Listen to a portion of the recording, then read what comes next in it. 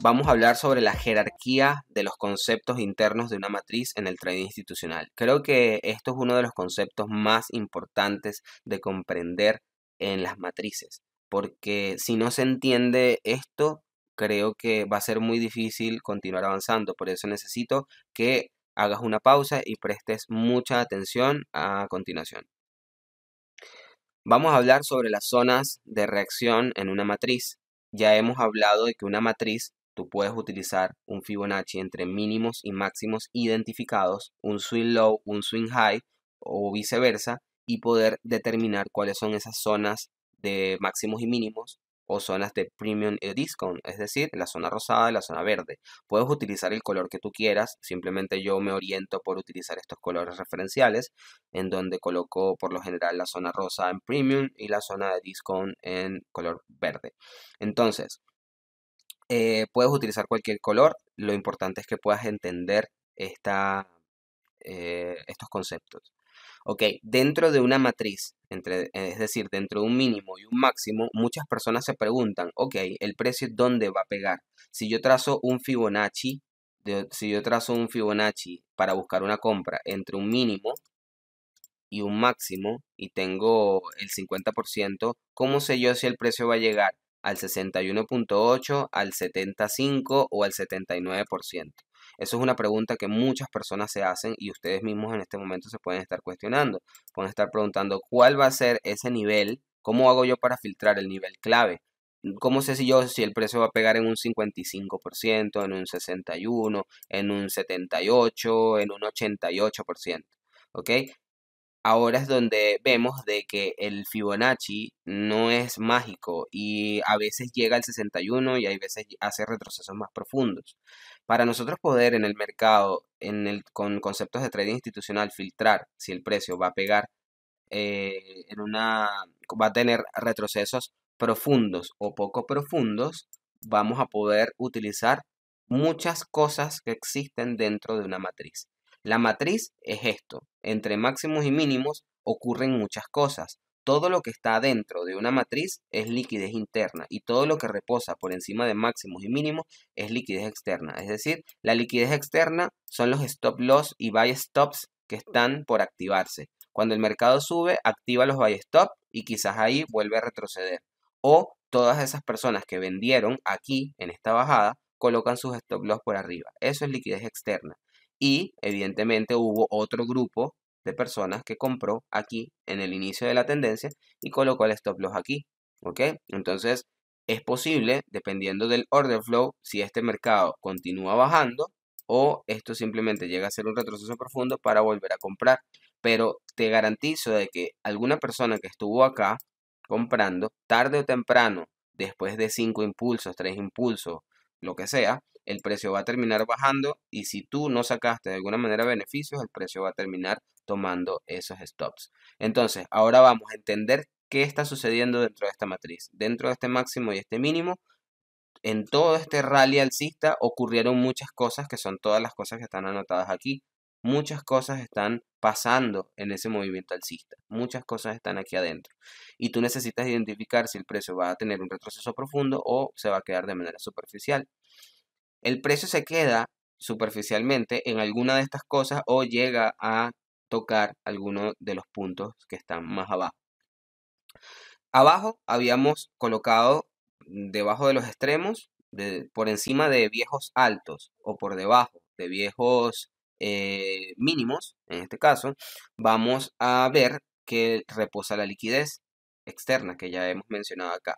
Y hay liquidez interna que hago referencia a brechas de valor razonable, reequilibrios de precios, eh, entre otras cosas, de conceptos que donde los institucionales buscan bajar el precio hasta esas zonas de mitigación de órdenes, eh, rebalanceos o reequilibrios de precio, buscan precios eh, disponibles. Tú no sé si recuerdas que hablamos de una vela continua, en los ejemplos anteriores, una vela roja que empezó a bajar y hizo una brecha de valor razonable. Si no lo recuerdas, te pido que hagas pausa en el video y regreses a los ejemplos porque es un punto muy importante. Esas velas continuas que no que dejó un espacio, esos son gaps de mercado, pero con, con vela. ¿Ok? Esa es la diferencia. Un gap es una ineficiencia de volumen donde no hubo precio, no hubo cotización. Y es un, un espacio disponible en el precio para venir a buscar. Los institucionales les encantan los gaps porque ahí no hubo precio, no hubo cotización. Hay mucha disponibilidad de precios ofrecidos en el mercado. Y el mercado busca llevar el precio a esos gaps para poder cotizar. Entonces, a veces los gaps se llenan parcial o totalmente. Eso pertenece a una clase que vamos a ver al final de este curso sobre los, las brechas de valor razonable o los gaps y cómo tú puedes operar dentro de esa liquidez interna. Ahora bien, sabiendo esto, vemos que el precio busca esa liquidez interna. Cuando el precio va bajando, va buscando toda esa liquidez que está acá, que dejó ese rally alcista, para poder cotizar en un punto de interés. Vemos un punto de inflexión importante en el precio para poder buscar oportunidades. Dentro de la zona premium vamos a encontrar en orden de jerarquía, de lo más importante a lo menos importante, vamos a empezar. Por ejemplo, aquí en primera instancia tengo el viejo alto o viejo bajo en este caso, que reposa por debajo del mínimo. Luego viene el bloque de rechazo, que lo vamos a ver en la última clase. Posterior a eso tenemos un bloque de pedidos alcistas, que es el bloque de pedidos tradicional que ustedes conocen, que es una vela que es una vela así. Y luego hay una vela alcista. ¿ok? Esto es una vela roja, e, esto es una vela verde. Vamos a ver si se los puedo eh, graficar para que no se les olvide. Esto es una vela roja y luego viene una vela verde que valida el movimiento anterior. Si no reconoces esto que estoy diciendo, ve a el webinar que tuvimos de introducción al trading institucional, donde en la parte donde hablamos de bloques de órdenes, para que puedas entender este concepto. Aquí se está validando el bloque, este era el último movimiento bajista, teníamos la vela y ya tenemos el movimiento validado. Entonces, el precio empieza a subir, a subir, así como lo está haciendo aquí. Imaginemos que el bloque de pedidos, esta vela rojita está aquí, este movimiento va bajista y cuando el precio empieza a bajar, empieza a bajar, que es este movimiento bajista, él va a buscar algunas zonas de interés, bien sea el bloque de pedidos, brecha de valor razonable o vacíos de liquidez que está en la bajada, que se encuentra en esta bajada, para poder capitalizar. Entonces, vas a encontrar el bloque de pedidos, luego el bloque de rechazo, luego el bloque de pedidos, luego en orden de jerarquía el precio se pudiera quedar o frenar en una brecha de valor razonable, haciendo algo que se llama IOFET, Institutional Order Flow Entry Drill en inglés. Ese concepto es cuando se reequilibra superficial o totalmente una brecha de valor razonable y el precio no hay necesidad de que llegue a capitalizar o a mitigar órdenes en un bloque y el precio se queda en esa brecha. Eso lo vas a conocer a final de este, de este curso, en las últimas clases. Luego vienen los vacíos de liquidez. Un vacío de liquidez por lo general se forma en el 50%.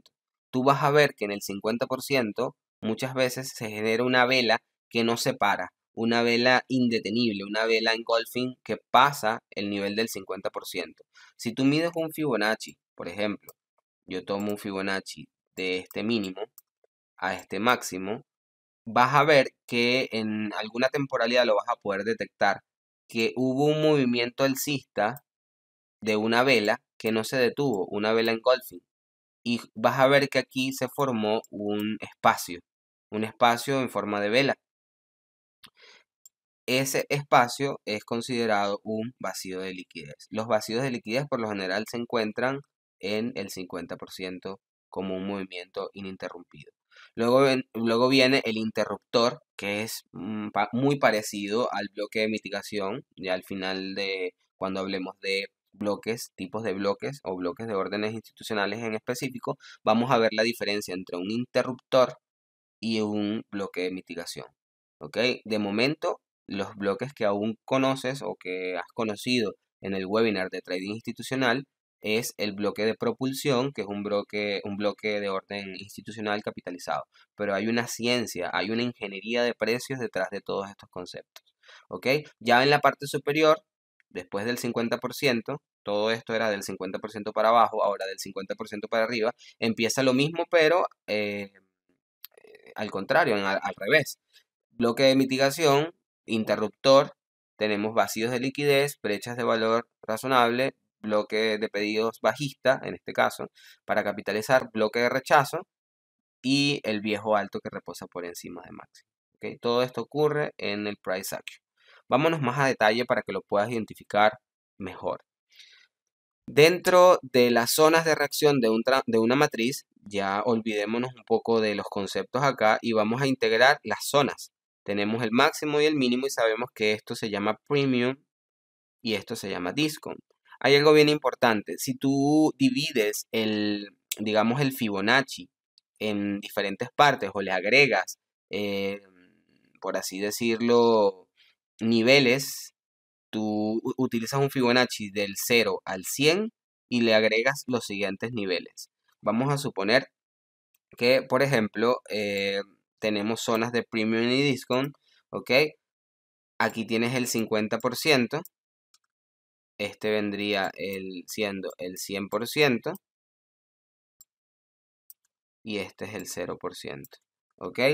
Posteriormente a eso, vamos a ver que el precio se cotiza, tiene una parte de super premium, semi premium, semi discount y super discount.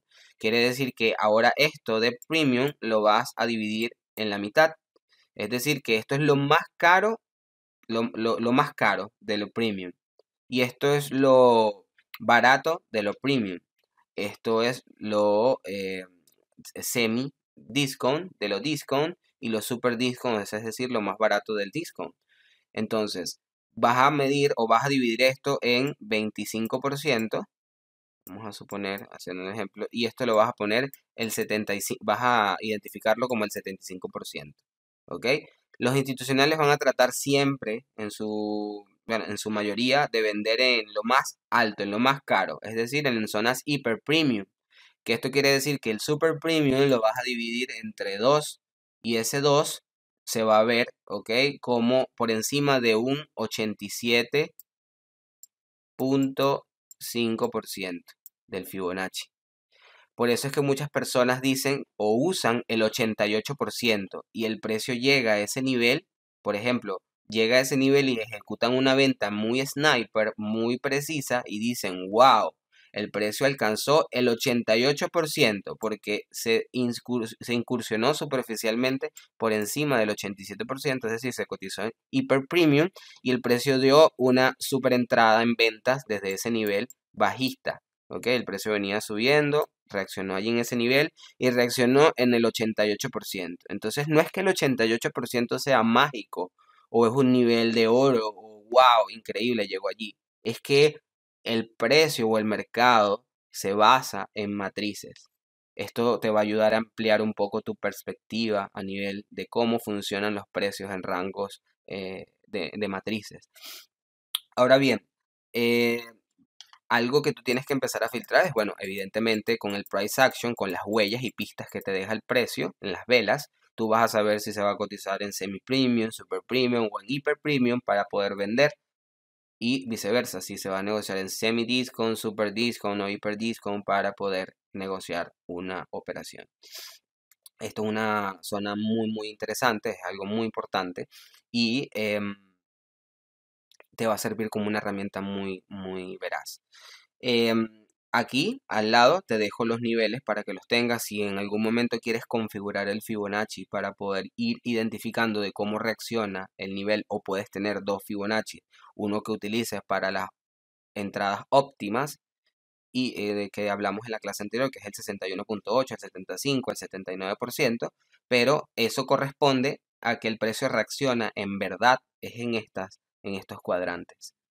Así que te invito a que le hagas un estudio a estos cuadrantes para que puedas entender mejor eh, la ingeniería de precios.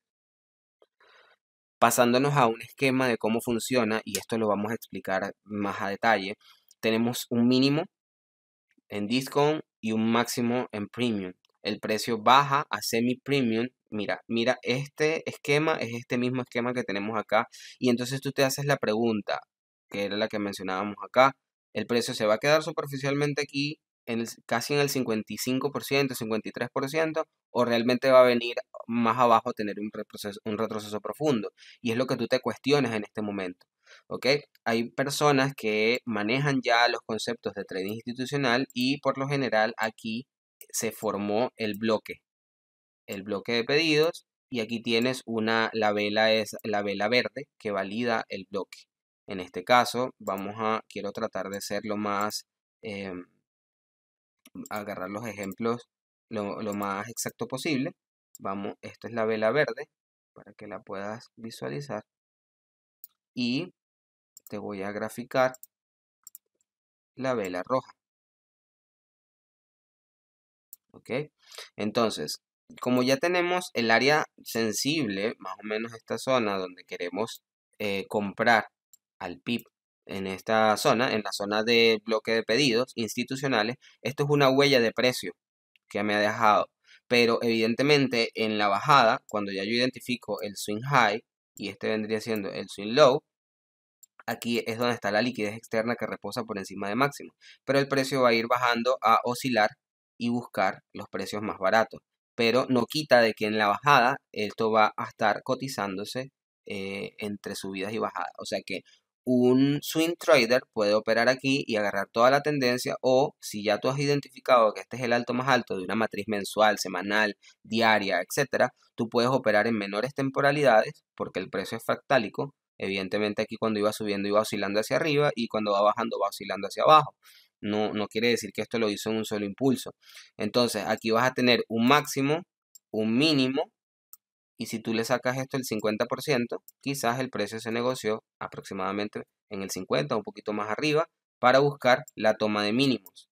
Ahora tomas un nuevo máximo, un nuevo mínimo, el precio viene a negociarse por encima del 50% y vendes otra vez hasta los mínimos anteriores. Aquí tienes máximo, tienes mínimos, el precio se puede quedar en un equilibrio en una zona del 50% y bajar aún más a buscar nuevos mínimos hasta que llegue al bloque de pedidos. Cuando el precio capitaliza aquí ya no hay interés de seguir bajando posiblemente. Ya nos hemos cotizado en super discount.